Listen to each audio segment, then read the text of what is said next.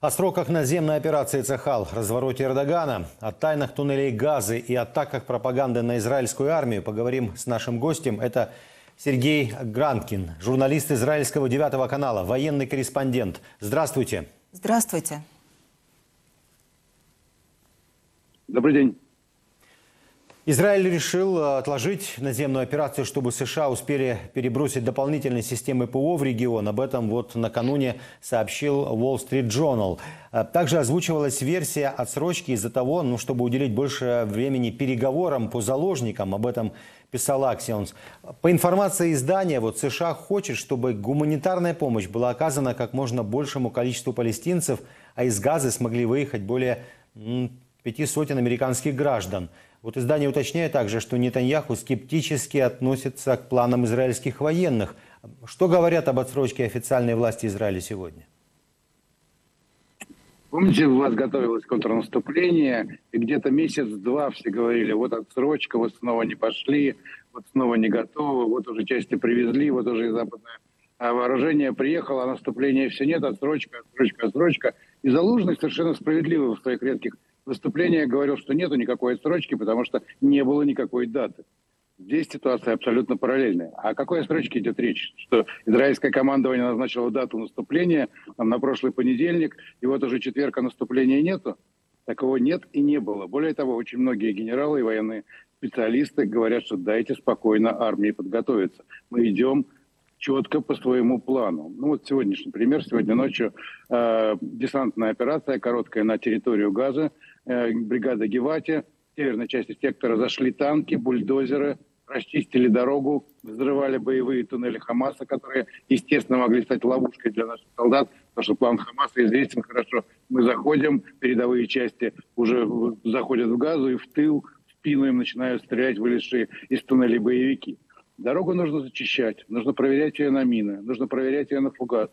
Ну, собственно, смешно, что я вам это рассказываю, потому что вот раз ровно 2-3 месяца назад была ровно такая же ситуация, и э, украинская армия все-таки пошла в наступление, не до конца проверив, насколько я понимаю, что перед ней лежит, и, в общем, из-за этого отчасти забуксовала. У нас те же самые опасения – абсолютно те же самые. Газа может стать израильским бахмутом, а может и не стать, если заранее поработает авиация, если заранее поработает разведка. За сегодняшнюю ночь уничтожено пять бункеров с боевиками. И это хорошо видно, потому что проваливается просто перекрестки в городе Газа, и там под ними просто видны уже вот эти подземный город, подземное метро Хамаса, и такая работа ведется каждую ночь. Ну, простая статистика. Э, позапрошлой ночью 320 авиаударов по Газе, прошлой ночью 400 авиаударов по Газе, нынешней ночью всего 250, но эти всего, потому что была еще и наземная операция короткая. Кроме того, подключилась артиллерия, которая всю ночь обрабатывала центральную часть сектора в районе Хан-Юнуса. И армия продолжает очень упорно готовиться. Во-первых, идут тренировки постоянные. Да? У нас недалеко от газа, относительно базы Цаилим, и все подразделения, которые стоят вдоль границы, по очереди выдергиваются, и, соответственно, проходят очень интенсивные тренировки, городской бой в первую очередь, разумеется, э, подземные бои. У нас есть спецподразделения, которые умеют это делать, координация авиации, флота и сухопутных сил, что тоже очень важно и не отработано до, до конца. Ну и в конце концов снаряжение армии. Не забывайте, призвали 360 тысяч человек. В конце концов, до сих пор не у всех, кто стоит на границе, есть керамические броники. Я уж не говорю про тактические аптечки, про э, средства связи, про тепловизоры. Все это теоретически где-то есть на складах, но логистика при таком количестве людей, при таком, при таком сроке подготовки, естественно, запаздывает, отстает. И поэтому ну, вот наши генералы откровенно совершенно не торопятся. Я вчера был на фронте, и э, вот прямо на передовой совсем разговаривал там ну, и с офицерами. Ну, это, конечно, младший, средний офицерский состав, солдаты. Солдаты рвутся в бой, их понять можно абсолютно, да. У них мотивация, они хотят отомстить. А офицеры чуть более спокойно относятся к ситуации, чуть более взвешенно. Они разумно э, оценивают уровень подготовки своих подчиненных, особенно если это резервистские подразделения. Поверьте мне, резервисты, хоть он и ходит раз в год на сборы, ему две недели подготовки вообще не помешают. Вот совершенно. Да, и с точки зрения стрельбы, и с точки зрения взаимодействия, плюс резервистские подразделения, там же все время меняется состав, кто-то ушел, кто-то пришел, какие-то новые появились, командиры новые появились. какая-то техника новая появилась. Для, для того, чтобы их сыграть, сработать, нужно чуть больше времени. Вот. А журналисты, да, особенно американские этим грешат, я уж не знаю почему. Они назначают дату. Потом они ее отменяют. Потом они пишут аналитическую статью, почему эта дата перенесена. Почему обосновывают ее какими-то политическими, отчасти придуманными, отчасти существующими э, причинами. Но ведь журналисты ищут, причина, журналисты ищут информационные поводы всегда, да, для того, чтобы говорить об, этой, говорить об этой информации, о том, что происходит. Но военные это знают, нельзя врага недооценивать. И очень правильно сказали, никакой даты нет, и должна вестись планомерная подготовка. И, кстати, очень интересная информация. Вы сказали сейчас о том, что была вот достаточно успешная боевая вылазка уже. Конечно, мы прощупываем дорогу. И вчера выступал Нетаньягу, э, премьер-министр Израиля, который сказал, когда мы войдем в Газу. Он не сказал, если. Он дал понять, что нам еще требуется время на подготовку. Наверняка это как-то связано с политикой. Заложники, какие-то переговоры. Но это в том числе связано и с тем же мирным населением Газа. Потому что э, постоянные обстрелы, постоянный тревожащий артиллерийский огонь по окраинам и северной части сектора, и центральной части сектора все-таки заставляет людей уходить.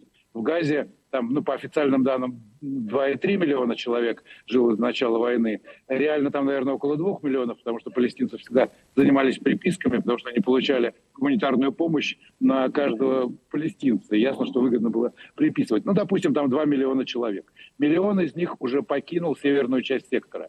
Это, в общем, довольно много, и это здорово облегчает задачу армии, потому что можно использовать не точные ракеты, которые очень дорого стоят, а просто-напросто 155-миллиметровые артиллерийские снаряды или э, более грубые бомбы, которые просто разносят перекресток и попадают в туннель Хамаса, и это без того, чтобы убить большое количество мирных жителей. В Газе гибнут люди, гибнут мирные люди, и женщины, и дети, мы это знаем. Вот вчера там страшная трагедия, глава офиса Аль-Джазира э, в Газе, довольно известный мужик, потерял в результате авиаобстрела э, свою жену, сына, внуков э, и еще кого-то из родственников. Одной бомбой накрыло. Он остался жив, потому что он в это время был в офисе. И понятно, что рассказывает он в своих выступлениях на Аль-Джазире. И горе этого человека можно понять. И, в общем, Израиль не занимается тем, чтобы... Нет задачи убить как можно больше людей. Наоборот, старается вытеснить это мирное население и старается... Для этого тоже нужно время. Как это происходит? Северную часть сектора постоянно бомбят, постоянные артиллерийские удары, при этом а, с юга, сегодня еще один гуманитарный конвой зашел, привозят воду, а, продовольствие, медикаменты. ООН там развернула временные лагеря беженцев. Над э, северной частью сектора постоянно разбрасывают листовки с призывом к местным жителям уходить, пока не поздно. И чем больше мы будем ждать, тем больше людей сумеет видеть. Нужно понимать, вот сегодня опубликовано видео с израильского беспилотника, как э, боевики Хамаса расстреливают э, мирное население, которое пытается выйти из северной части сектора. Им нужен живой щит. Э, они прекрасно понимают, что как только они останутся без прикрытия и у, вообще не будет ограничений там у израильских генералов э, при выборе цели, то, в общем, останется, в общем, жить им очень недолго, да, просто э, сравняют даже не с землей, а с теми самыми подземельями, где они, собственно, сейчас э, и прячутся. Ну и еще один наверное, тоже, тоже очень э, важный момент. Э, это момент э, политический. Конечно, нельзя сбрасывать со счетов реальные вещи, не то, о чем пишут американские журналисты, какие-то там просьбы, там угрозы. Нет, есть совершенно реальная просьба американского командования дать им время на защиту своих объектов. Сейчас на Ближний Восток самолетами доставляют системы ПВО «Патриот» современные. Они достанутся Израилю, но не только – у американцев около 30 баз по всему Ближнему Востоку. Это и Бахрейн, это Объединенные Арабские Эмираты, это и Саудовская Аравия, это и Ирак э, на границе с Сирией и так далее. Да, можно долго перечислять. А, эти базы уже подвергаются нападениям. Ясно, что как только начнется сухопутная операция, все исламисты мира, особенно в нашем регионе, активизируются, американцы станут мишенью. И вот это реальный аргумент, военный, вполне понятный. Американцы сказали, ребят, дайте нам там хотя бы несколько дней мы привезем наши системы ПВО, укрепим наши базы, выведем гражданских сотрудников, а потом, пожалуйста, как бы уже в нужном вам ритме действуйте дальше. Но вот сейчас эти несколько дней нам нужны. Так что да, существует американское давление. Американский генерал сидит в нашем штабе оперативном и вместе с нами разрабатывает сюжеты будущей войны, планирует. Две эскадры американские стоят у берегов Ливана, Эйзенхауэр и Форд, два авианосца – общей сложностью там, самолетов больше, чем на всем остальном Ближнем Востоке. Я уж не говорю про крылатые ракеты, эсминцы сопровождения, э, подлодки и так далее. То есть, конечно, мы координируем с американцами, конечно, мы учитываем их пожелания и принимаем во внимание их сроки подготовки. Но вот то, что пишут журналисты, вот я читал Street Journal, до этого вчера была Нью-Йорк Таймс такая же примерно статья, это вот чистая спекуляция на политике, хочется поиграть в нее очень. Израиль, честно говоря, по-моему, вот на вот эти 20 дней, 20-й день войны, просто-напросто забыли про политику. Причем забыли не только обычные граждане, не только резервисты, не только э, там, те, кто по долгу службы как-то сталкивается с войной, забыли даже политики, как это не смешно. У нас сформировано правительство национального единства, никто не вспоминает ни про какие коалиционные споры – все взяли ответственность. Нетаньягу вчера сказал, что да, я тоже виноват, я после войны отвечу. Не волнуйтесь, но сейчас не о том речь. И все, в общем, все для фронта, все для победы. Сергей, ну Поэтому ну, вот здесь из Израиля...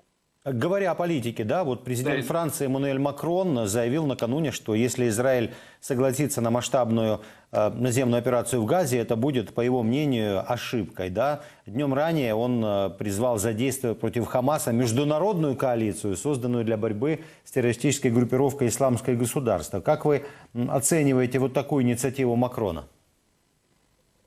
Я предлагаю инопланетян пригласить на помощь. Это куда более реально чем международная коалиция, действующая в секторе газа. Вы знаете, Израиль же не первый раз ведет войну. Такую масштабную, да, первый раз, с такими жуткими потерями, и которая началась с такой трагической ошибки и нашей армии, и нашей разведки, и наших политиков. Да, такого не было даже 50 лет назад во время войны судного дня. Но, в принципе, воевать мы, во-первых, умеем, и, во-вторых, мы понимаем, что такое международное давление. Простой пример. 2014 год, операция «Несокрушимая скала». Два с половиной месяца мы долбаем газу, армия наша туда заходит, выходит, нас осуждает весь мир, даже Штаты там угрожают прекратить поставки боеприпасов. Ну и что? Нам хватает своих боеприпасов, нам хватает внутренних резервов. Не будут Штаты на это расставлять нам палки в колеса. У Байдена скоро выборы, а ему проиграть третью войну подряд. Ну, я не считаю, конечно, украинскую войну проигранной. Но у него там очевидные проблемы. Но вот если еще он у нас здесь зароется, то в ноябре он на выборы может просто-напросто не ходить. И это всем очевидно. Поэтому э, как бы того, что прекратится какая-то американская помощь, э, мы этого не боимся, очевидно, она не прекратится. От Европы, в общем-то, нам ничего не нужно. На самом деле, то, что просят практически вслух наши политики, да, встречаясь с европейцами, и с Макроном, и со Штольцем, Урсула, Урсула Дерляйн здесь была. Э, единственная просьба, пожалуйста, забудьте про нас на, две, на 2-3 месяца. Вот забудьте, нет нас. Вот не вспоминайте. Занимайтесь своими проблемами, беженцами. А через три месяца мы закончим нашу операцию и поедем по миру с мастер-классами о том, как бороться с абсолютным злом. Ну, смотрите, ну, вот, примерно э, такая ситуация. Эрдоган, Эрдоган как бы забыл, да, про Израиль. Вы говорите, забудьте о нас. Вот он забыл про Израиль, он отменил свой визит, назвал Хамас э, освободительной организацией, да, и, и вот я хочу процитировать. Хамас – это не террористическая организация, а освободительная организация, борющаяся за защиту своей земли. Израиль а Запад вам очень много должен, Турция вам ничего не должна, заявил он. Вот говорит, что у Турции нет э, проблем с Израилем, но вот ее не устраивает израильская политика в отношении палестинцев. Поэтому все и предстоящие визиты турецких официальных лиц в Израиль были отменены. Вот накануне этого заявления Эрдоган даже с Путиным, кстати, созванивался. Эрдоган с Путиным беседует постоянно. Кстати, Нетаньягу беседовал с Путиным уже после начала нашей войны, потому что есть вопросы, которые нам проще решать через Россию. Например, вопрос об освобождении заложников. Я напомню, что там в заложниках есть и российские граждане, и со всеми главами государств, граждане которых попали в плен к Хамасу, Израиль вел переговоры. Но с Эрдоганом интересная история. Ну, во-первых, он не может сюда приехать во время войны, потому что он один из лидеров мусульманского мира. Израиль убивает мусульман, и ясно, что это вызовет негодование как в его стране, так и в соседних мусульманских странах. Но это же Ближний Восток. Тут нужно очень четко понимать, что важно вообще, совершенно не важно, кто что говорит. Очень важно, кто что делает. За день до своего выступления Эрдоган депортировал Исмаила Ханию из Турции.